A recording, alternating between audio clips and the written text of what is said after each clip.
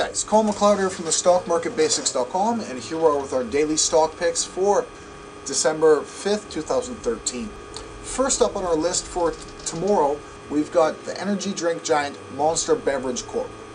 This caught our attention today after its golden cross pattern on yesterday's daily chart, as well as its recent tear in early November. It has jumped from $55 a share to $62.49, pulling bigger moves up this week.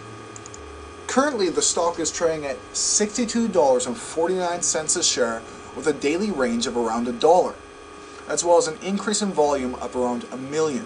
We're liking what we see from Monster so far. Now, as the market opens tomorrow, we'll be keeping an eye on Monster just in case it surges up past yesterday's highs of $62.59 and we plan to enter the stock on an intraday trade with a price target of $63 a share. Once again, my name is Colin Macleod from the StockMarketBasics.com. Be sure to subscribe to our channel as well as checking out our Freedom 35 membership program.